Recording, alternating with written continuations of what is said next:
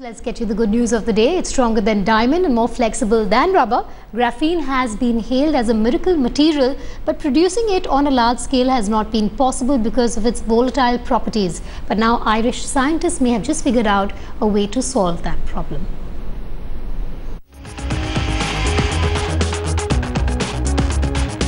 It's where science fiction meets science fact.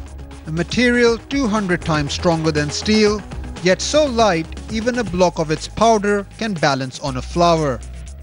Graphene is the first wonder material of the 21st century, and it's expected to transform almost every aspect of life. From strengthening plastic bottles to cancer therapy, bendable touchscreens to batteries that can charge electric cars in seconds, graphene's potential is practically limitless. And the really good news is that this man, Jonathan Coleman from Ireland's Trinity College, has broken new ground in the effort to speed up production of the wonder material by mixing it with soap and water in a common kitchen blender.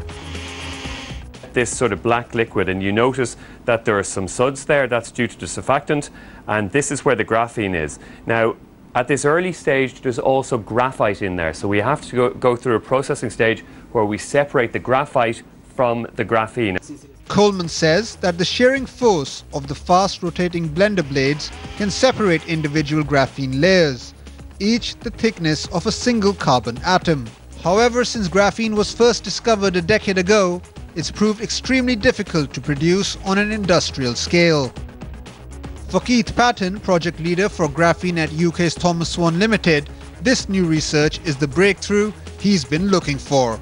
The things that's been holding this back is a supply of large-scale, large quantities of graphene, good quality graphene at reasonably low costs.